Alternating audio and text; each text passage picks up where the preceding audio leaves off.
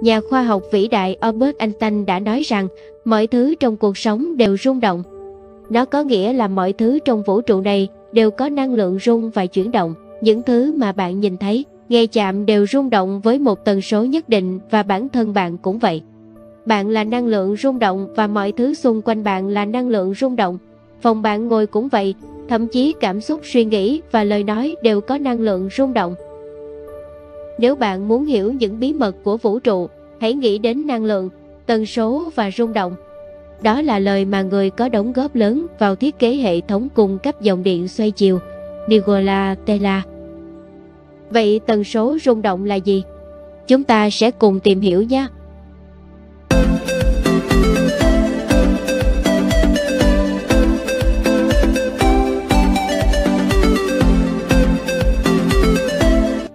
Tần số rung động của con người Tần số là số lần đi qua trục cân bằng trên một giây của đối tượng dao động. Rung động là năng lượng sống lan truyền trong không gian. Âm thanh chúng ta nghe được chính là một loại tần số rung động. Âm thanh tần số càng cao, năng lượng càng lớn. Âm càng trầm thì năng lượng càng nhỏ, tần số thấp. Điều này lý giải vì sao những khúc ngân cao vút của ca sĩ chúng ta lại cảm thấy dựng đứng người lên và nổi da gà. Vì để phát ra âm cao gần như họ phải hét lên, dùng nhiều nội lực cũng như năng lượng mới tạo ra được, còn để phát ra âm thấp thì không được gào lên. Nếu mọi người để ý sẽ thấy những người nói nhiều, nói to và có giọng lanh lảnh thì thường không béo lên được, do bị hao tổn năng lượng từ âm thanh họ phát ra quá nhiều. Theo sự diễn giải của một vị yogi thì tất cả mọi thứ trong thế giới này, cả hữu hình lẫn vô hình, đều rung động liên tục. Tất cả các hạt vật chất từ nguyên tử nhỏ nhất đến các hành tinh vĩ đại nhất, đều ở trong trạng thái rung động. Tiến sĩ David Hawkins, một nhà tâm thần học, bác sĩ, nhà nghiên cứu về ý thức và giảng viên tâm linh nổi tiếng người Mỹ. Ông cho rằng ý thức hay tinh thần của con người là một trường năng lượng vô tận. Qua 25 năm nghiên cứu, ông đã cho ra đời bản đồ ý thức, thể hiện khái quát tình trạng sức khỏe, thể chất, cảnh giới tinh thần của con người bằng con số cụ thể. Theo đó, mỗi người có một tần số rung động hay mức năng lượng khác nhau tùy theo cảnh giới tinh thần của họ, nằm trong khoảng từ 1 đến 1000. Nó được chia làm hai loại, tần số rung động cao và tần số rung động thấp. Một, Tần số rung động nặng nề là tần số rung động thấp hay còn gọi là năng lượng tiêu cực. Những người có tần số rung động thấp thường có cảm xúc và suy nghĩ tiêu cực như nóng giận, ganh ghét, ghen tị, thiếu kiên nhẫn và nghi ngờ. Tần số này nằm dưới 200. 2. Tần số rung động thanh nhẹ là tần số rung động cao còn gọi là năng lượng tích cực. Những người có tần số rung động cao thường tử tế, đồng cảm, giàu lòng từ bi và yêu thương vô điều kiện.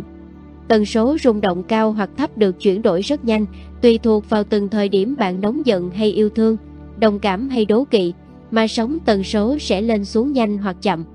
Những người không được thương yêu hay có tư tưởng tiêu cực oán giận, chỉ trích, hận thù người khác hoặc sống ích kỷ đều có tần số rung động thấp.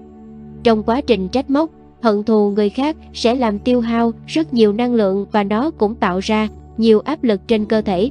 Vì thế tần số rung động sẽ giảm. Tần số rung động chính là từ trường mà mọi người thường hay nói. Khi bạn buồn rầu, rung động thấp, bạn sẽ cảm thấy chán nản, ủ ê, người như đeo đá tảng, nặng nề và còn có cảm giác co rúm người lại. Vì vậy, các đặc tính cảm xúc tiêu cực có đặc tính co vào, cần được chia sẻ, an ủi và nhận năng lượng từ người khác.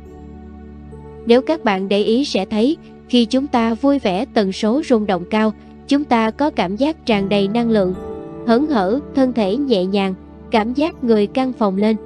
Vì rung động nhanh sẽ khiến cơ thể chúng ta giãn nở và chúng ta có đặc tính cho đi, lan tỏa, phải có năng lượng thì mới cho đi được.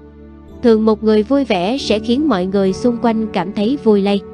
Theo khoa học thì khi ta cười sẽ sản sinh ra endorphin, chúng làm ta vui vẻ.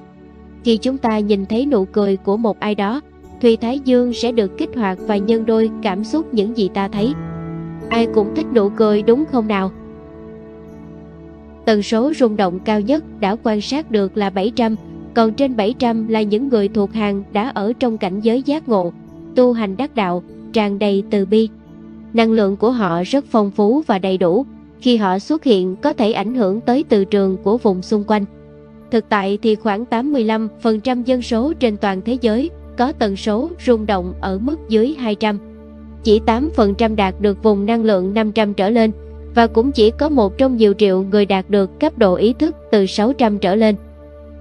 Tần số rung động cao gắn với sự khỏe mạnh, tần số rung động thấp gây ra trạng thái ốm yếu, bệnh tật.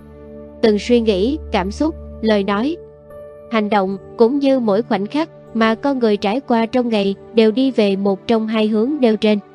Đó là một trong những lý do để giải thích vì sao những người luôn lạc quan yêu đời thường sống khỏe mạnh hơn và khả năng chống chịu với bệnh tật cao hơn những người luôn buồn rầu và suy nghĩ tiêu cực. Có một điều thú vị là sách, thực phẩm, nước uống, động vật, phim ảnh, thể thao và âm nhạc có thể hiệu chỉnh tần số rung động từ thấp lên cao. Nhưng phim ảnh cũng có thể làm suy yếu những người xem chúng bằng cách đưa các mức năng lượng xuống dưới 200.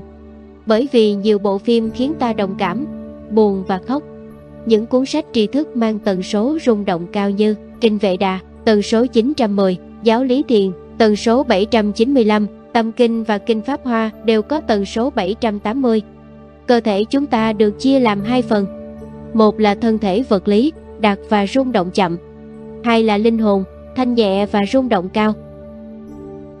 Các bạn hẳn ai cũng đã trải qua tình yêu đầu đời. Cái cảm giác mãnh liệt của tình yêu ngay từ cái nhìn đầu tiên khiến con tim bạn loạn nhịp vì thổn thức, năng lượng tràn đầy và tâm hồn phơi phới. Lý giải hiện tượng này thì sao? Đầu tiên chúng ta phải biết rằng trong cơ thể này cái mà hoạt động nhiều nhất, mạnh mẽ nhất và liên tục nhất chính là trái tim. Trái tim không ngừng co bóp đưa máu và dưỡng chất đi nuôi cơ thể.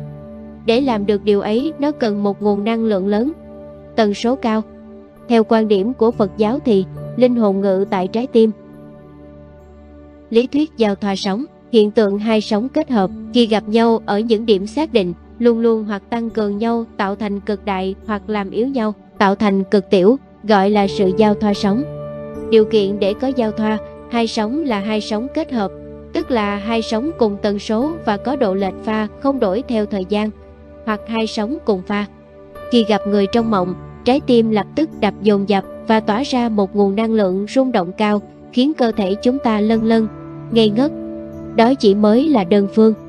Nếu cả hai người đều phát ra tần số sóng yêu thương, cùng tần số, cùng pha thì sẽ xảy ra hiện tượng giao thoa sóng và cộng hưởng tăng tần số rung. Thông thường nguồn năng lượng mạnh mẽ này sẽ kéo dài trong nhiều ngày, nhiều tuần hoặc nhiều tháng nếu người đó không để mất năng lượng vì các cảm xúc tiêu cực và liên tục được bổ sung năng lượng của tình yêu. Tuy tần số năng lượng của tim là khá cao, lớn hơn 500, nhưng tần số đó vẫn không cao bằng tần số rung động của sự minh triết, sự hiểu biết. Cho nên nếu bạn quan tâm đến tần số rung động hãy quan tâm đến trí tuệ và tình yêu thương. Bạn có biết bạn chính là một trong những dây chuyền sản xuất ra một loại thực phẩm đặc thù, năng lượng tiêu cực. Nó có thể làm cho hệ thống miễn dịch yếu đi, giảm khả năng chống cự với vi khuẩn, dẫn đến việc dễ mắc các loại bệnh. Vậy làm sao để có tần số rung động cao? Thực vật là loài có rung động tốt. Cao ngược lại thì thịt động vật luôn chứa rung động thấp. Khi con thú bị giết, chúng phát ra một năng lượng sợ hãi lớn. Năng lượng này tỏa ra xung quanh và ngấm sâu trong thịt. Đó là kiến thức của bên tâm linh, còn khoa học thì chứng minh rằng thú bị hoảng sợ trước khi giết mổ làm năng lượng ATP giảm mạnh, thúc đẩy quá trình đường phân, giảm mạnh pH, làm cho lát tay và oxy chuyển vào trong máu trước khi chết hoặc ngay sau khi chết và protein sẽ không ngưng tụ. Hồng cầu thì thiếu oxy, thịt có màu sậm. Âm nhạc là một trong những công cụ tuyệt vời để nâng cao tần số rung động cho chúng ta. Đọc sách hay bất cứ điều gì cảm hứng sẽ tăng tần số của bạn. Sự tập trung và thiền định cũng là một cách để nâng cao tần số rung động nhanh chóng. Ngoài ra, chỉ cần chúng ta yêu thương. Đúng vậy, chỉ cần chúng ta làm mọi việc, suy nghĩ, hành động, lời nói, với tình yêu thì mọi việc sẽ trở nên tích cực.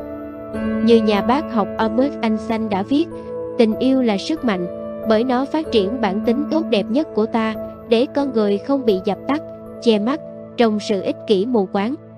Vậy nên mọi người cần có chính niệm, suy nghĩ lạc quan, sống biết yêu thương điều này rất quan trọng và có thể mang đến cho bạn những lợi ích đáng kinh ngạc.